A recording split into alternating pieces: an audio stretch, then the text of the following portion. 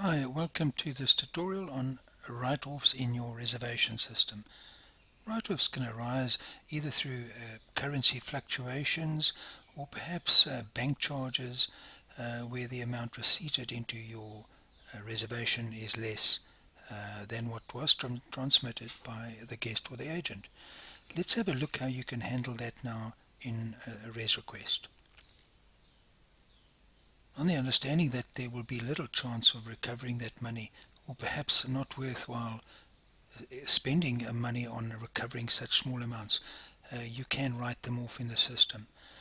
Now, to identify those, we could go to the financial report, folio invoice, click on folio invoice, and here we will call for invoiced folios, and let's get all of them and generate a report. Here we can see now there are invoiced folios that have small amounts owing on them. In this particular case, to write them off, we'll just select those and then click on Write Off.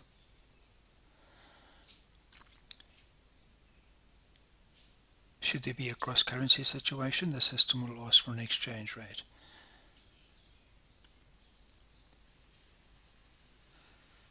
Confirmation that these amounts have now been written off.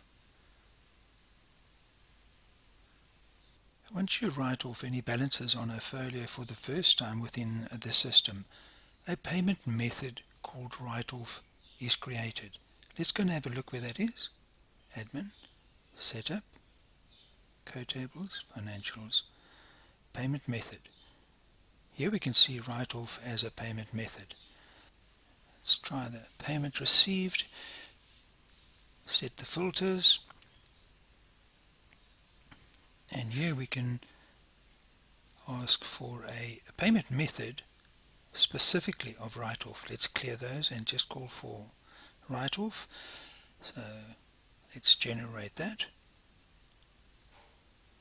By using either of the uh, three reports available, to uh, track uh, payments made into the system, one will then be able to get a report on any write-offs. So we could use payment item, payment by group, or received payments. Here we've used payment item, and that's the display format there, showing the two reservations, and the amounts, and what was written off. We hope you found this tutorial on write-offs in ResRequest useful.